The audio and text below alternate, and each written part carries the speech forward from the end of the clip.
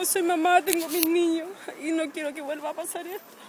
¿Usted vio el accidente? ¿Salió algún No, poco? no, venía aquí en la esquina cuando vi al niño que estaba tirado ahí en el suelo lleno de sangre.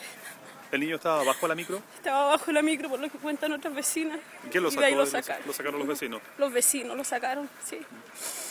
Entonces usted dice que denuncia que es habitual que impriman mucha velocidad los Sí, conductores por acá. en la noche sobre todo, sí hay algo aquí que es impactante, si lo toman como pista de carrera. Sobre todo cuando vienen de allá del sector del Vaticano, vienen, pero muy rápido, demasiado rápido. Y aquí también han estado a punto de chocar autos porque no respetan el disco pare tampoco, si pasan hechos a las velas, como se dice vulgarmente. Oiga, y el niño entiende que vive acá, en la Sí, cercanía. sí. ¿Lo conoce usted el niño? Eh, se ha visto por aquí, si vive acá atrás en el pasaje, creo. Pasaje Santa Teresita, dicen. Sí, sí.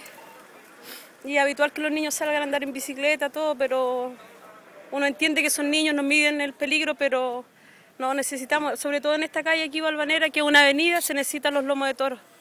Está muy conmocionado usted, señora. Sí, sí.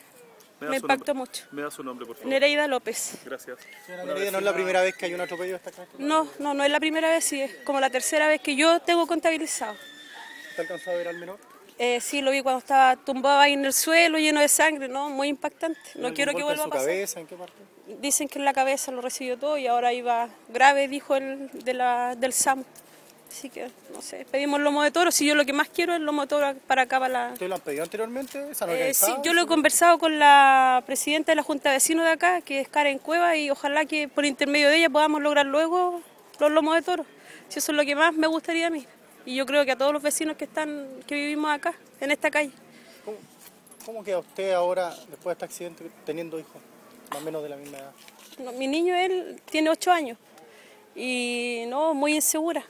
Insegura mientras yo creo que no haya, bueno, yo creo que mi salvación sería un lometoro, pero a lo mejor ni con eso, porque toman como autopista la calle esta.